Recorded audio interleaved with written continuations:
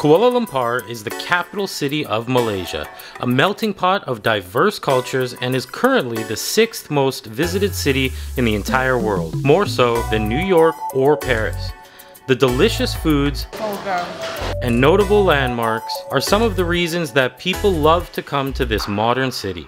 It's our first time visiting Kuala Lumpur, and in today's video, we are going to be taking you with us as we explore some of these amazing parts of the city.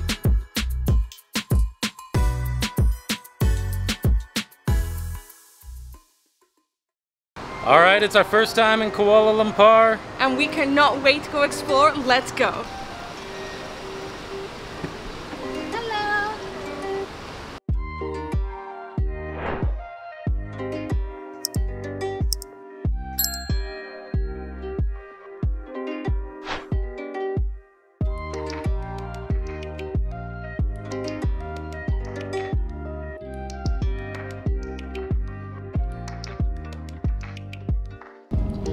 So I actually have a family friend that lived here in the city for a few years and so he made a number of suggestions that are really popular for locals and tourists alike. We've got quite the list. We're really excited to go take you guys out with us. We're just headed right now to a local pub, a British pub. You know, we gotta eat the British food. Gotta eat that British food. We're really hungry and really excited to go check that out. Before we go hit up one of the most popular markets in the city, and then we got some cool nightlife things to show you guys as well. So stick around for that. All right, so we just got here to the Gravel Coffee, Kitchen, and Craft Beers. Excited to check this place out. We've heard real good things.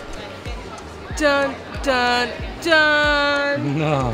They're fully booked today. I've never seen a restaurant that says they're fully booked.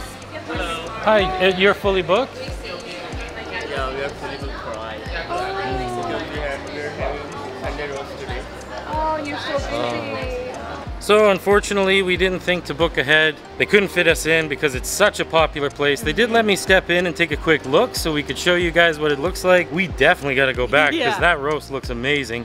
Yorkshire puddings are one of our favorite items for sure. So But there are tons of restaurants around us, so we are not disappointed. We will keep on going. no, there's lots to eat around this area. We'll put it up in the map right now so that you know where we're at. Definitely a lot of restaurants. There's even a snooker pool table across the street. There we go. So yeah, lots to eat and do in this area. We'll find something.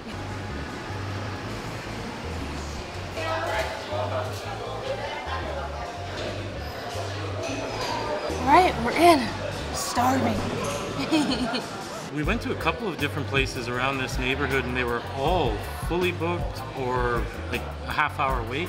I'm definitely glad we found this place. One thing we've noticed since being in Southeast Asia is it seems like it's really hard to find like actual brewed coffee. Most of the coffee they sell in grocery stores or markets is all the instant coffee. So I'm excited for a little espresso, that's for sure. Yeah, it says on the menu that they've won achievements for their coffee art, which is super cool. I hope I get a good design. I'm expecting high expectation on this. All right, I got the shrimp tacos and I am starving, so I cannot wait to dive into this. Mmm, so good. The tacos were looking good, but these burgers look amazing. I love when it comes with a fried egg on top. We also got the house salad to share. Ooh, this looks amazing. Wow. Amazing. Ooh. I got the house latte. This is the first time I've ever had one of these like artistic lattes or cappuccinos before. I almost feel guilty having a drink of it and like ruining it. Kind of want to mix it up and whatnot, but it's like, looks so good. It's too beautiful. Yeah, it's so beautiful. It's like unbelievable. I don't know how they do it. I can't quite make out what the picture was. It's either like a lion or a koala bear, something.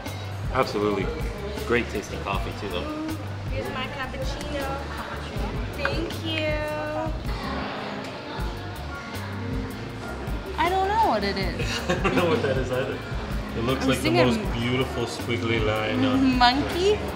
I don't think I got a proper one. I think you got the buddy who's it's his first day or something. They're like, just run it out. It almost looks like Santa Claus. Do you see that with the hat and the beard and the big belly? I think it almost looks like one of those ink blots that they have at like the psychiatry clinic. what do you see? Just as like trying to find the Yeah. picture in your coffee. The look on your face when it came down went from like so excited to like, what is it? I don't think it's anything.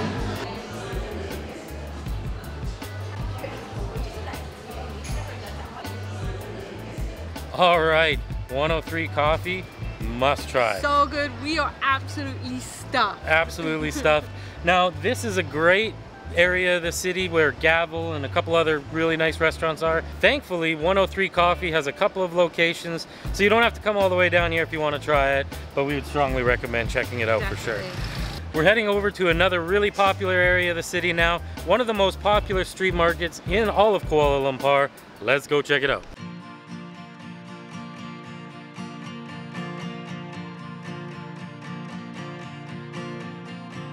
All right, so we just made it down here to Petaling Street in Chinatown. Awesome street market with a number of different designer knockoff brands, street food. I don't think we'll need any of that though. We're so full from that restaurant. But if you're coming to shop, you can find pretty much anything you want down here. It is known as the biggest knockoff markets in the city. Yeah, and one of the biggest in all of Southeast Asia. So let's go check it out.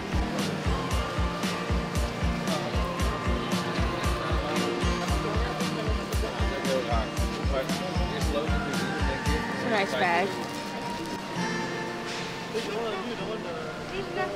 Hey, these are the ones that I got in Thailand. Yeah, those are like the exact same pair.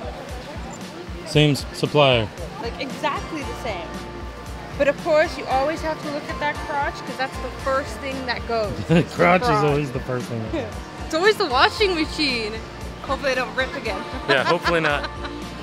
Tried to charge her 40 ringgit. We talked him down to 25. Yeah, he was very certain on 28, and I was like, no, 25 or I'm walking. Still probably got overcharged. yeah, but yeah, if it's your first time in one of these markets, you never want to take the first price. No, I probably could have got down to more, but But want to be fair to him too. yeah.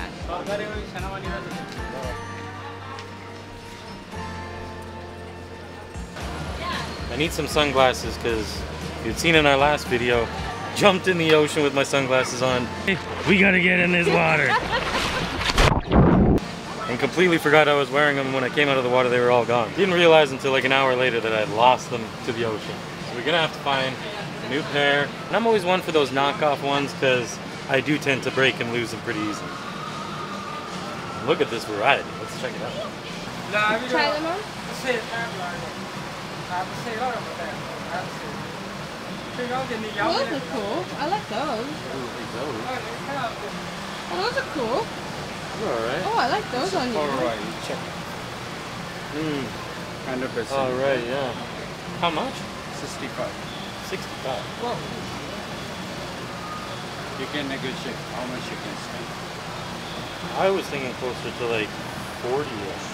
So in the middle, 50 between you and me. Uh, will you do 45? Those are cool. I like those. You even get a, a sunglass bag. Oh, look at that. There you go. Where are you from? Canada. Canada. Canada. Yeah. It's nice country. Yes. Very cold. Very cold. Very cold.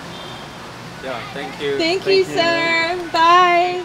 All right, Kyle got his sunglasses. He's looking cool and sleek in them. A new pair to lose or break. You know that won't take long, like next week or something. Yeah. And when we get to the next country we're headed to, which is in a couple weeks, I'll probably be buying another. Yeah. First time I bought cologne in years. Nice designer style. Knockoff, obviously, but smells like the real thing. Because back in Canada, the same kind of bottle would be like over $100. Yeah. This 65 ringgit, less than $20 Canadian. That I can go with. Yeah. And you'll smell delicious. And I smell a little better for Jess. I couldn't find my Converses. Yeah, couldn't find the Converses. Sizes just vary too much, and so did the colors and designs. Couldn't quite nail down what she was looking. There's five and a half. Um, a six. I would like gray. Yeah. Just a bit. One size up. Okay, thank you. I wasn't a fan. I like black, but I find black is like heavy. It's funny how these markets always work out. You never quite find exactly what you're looking for and end up leaving with things you never thought you needed or wanted. Couldn't find the Converses, but got myself a little bit of cologne, new pair of sunglasses, just got herself some pants, and That's it. that's it. but it was a cool market to check out. We would definitely recommend checking out Petaling Street when you come down to Kuala Lumpur. You get a great view of that building. Look at that. Wow, look at it. Look at that. That's unbelievable. Very cool. Yeah, it just gives us one more reason to come back to the city. It's not open yet, so we can't go up to check out those views, but definitely worth the trip back. Didn't he say it was almost a kilometer high? Yeah, it's 0.8 kilometers or 800 meters high. You would have felt like they should have reached for that kilometer. Yeah, it might be just like a massive challenge. Yeah. Very cool. But I think that's it for the market. We're moving on to the next place. All right, so we've just made it down here to the KLCC Park, right in the heart of Kuala Lumpur. An absolute must-see place when you come to the city. Yeah, it is beautiful during the day, but at night it is even more magical. They have some incredible light shows that happen every hour, and we're here to enjoy it. Yeah, and not only that, you get a really good view of the cityscape. It's all lit up. The Twin Towers are just right there, but the show's just about to start, so let's go find a place to sit.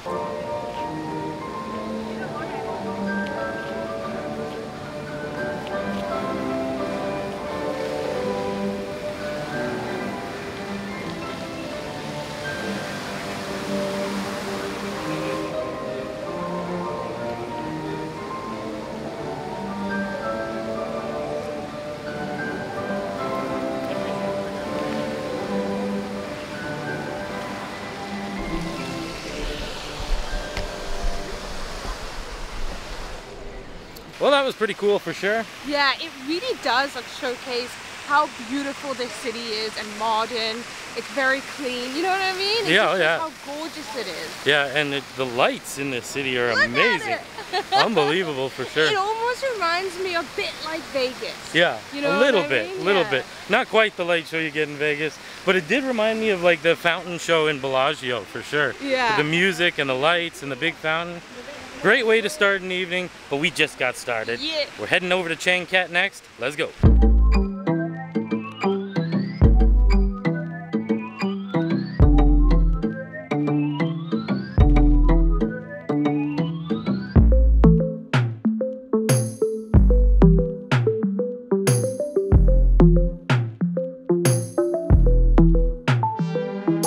All right, so Changkat is known as like kind of the nightlife hotspot here in Kuala Lumpur. And it's definitely living up to that name for sure tonight. Yeah, it is a bumping area. If you're ready to party, you want to come down here. Yeah, we just came down here and it's a Monday night, but it's still bumping quite a bit. We just stopped and had some appies, a drink.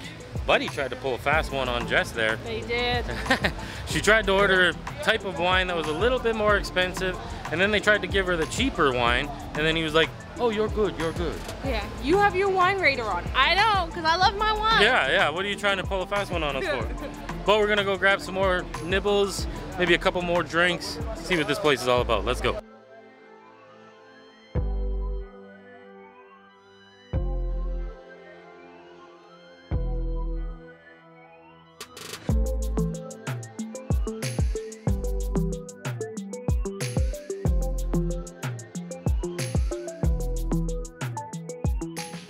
So Buddy was just telling us over at this Mexican restaurant here that it is more of a late night kind of place. It's already 12:30, but it's like still picking up like every minute there's more and more people showing up. It's only Monday night, but it's still going crazy here. It's a pretty fun place, but it's like a pretty short street. There's like maybe a block, half a block worth of bars, but it's like the bump in place in all of Kuala Lumpur.